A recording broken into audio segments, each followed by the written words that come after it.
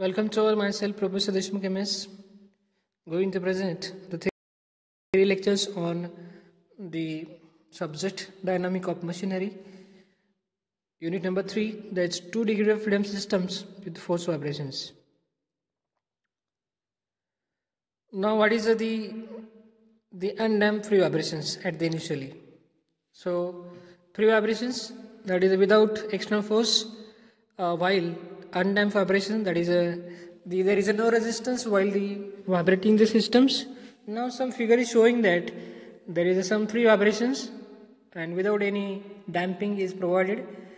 The mass m having the different positions at the starting positions with application of mass m and again with the motions. Now simple harmonic motions. What is the harmonic motions here?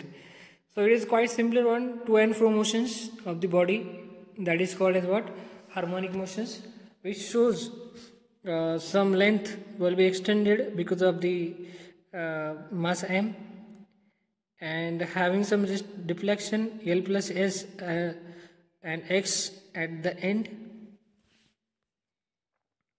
Now the two degree of freedom system, what is it is? So it is quite simpler one. The degree of freedom is what number of independent variable to describe the motion of system. That is a two. Under that condition it is called a two degree of freedom system. So for two degree of freedom system we are required two parameters and this parameter in terms of displacement. So that is what the x and x1 uh, with the mass m and m2 now this is some mechanism shows that the two degree of freedom system having two springs and two masses so having the different amplitude okay so the mass m this is blue line and this some red mass that is uh, the m2 mass which having the different magnitude of the spring and the mass that's why it is being deflected in different ways. Now differential equations of this mass m1 and m2 it's quite simpler one. For the mass m the forces available m1 x1 double dot and the force k2 into x2 minus x1 quite simpler one.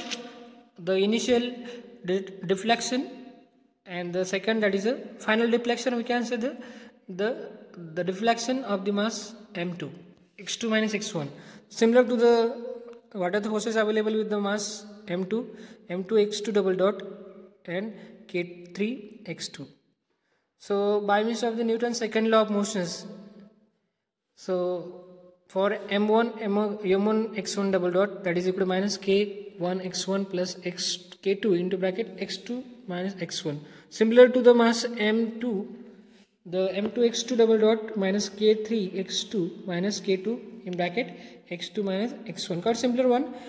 Uh, these are the amplitude. We are got the x1 and x2 is equal to k2 in bracket k1 plus k2 minus m1 omega square. Again we are got some second root also.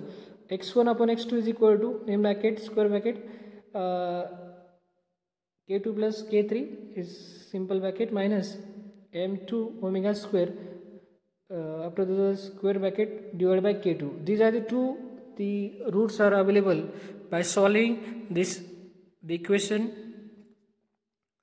So what about the modes of shapes? So what is the, the uh, vibration mode from their initial to end?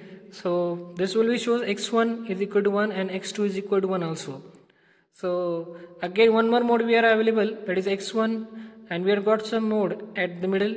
That is being zero conditions. So one more node is available. And this is uh, all about the mode shapes. Some typical problem we are taken here. So what is the problem statement here? Obtain the frequency equation of the system which shows in the figure also determine the natural frequency and the mode shapes when k1 is equal to 2k k2 is equal to k and m1 is equal to m and at the last m2 is equal to twice m so similar to the last one we are seeing in the theories just uh, draw the pictorial diagrams and uh, shows the forces on M1 and M2. After the same process that we have to follow and after following this we are got that some equations and just put in the equations values we are get the omega n is equal to 0.56 under root of k by m and omega n2 is equal to 1.784 under root of k by m. So this is all about the your problem solutions. Now with the mode shapes is that they are asking also. So first mode, if there is a omega 1 is equal omega n 1 square is equal to 0.3138 kilometer uh, k by m okay again it having some value of x1 is equal to 1 x2 is equal to 2.6858 after putting these values we are got the x1 and x2 again omega n2 square is equal to 3.186 under this situation we are got the different mode. And we have got some node is also which is showing here. So x2 is equal to minus 0.186 this is all about the problem solutions. It's quite simpler one. Just, just see the theories. And from the theories uh, see the steps to be followed. Put all this value in that we have got the answer. So thank you for this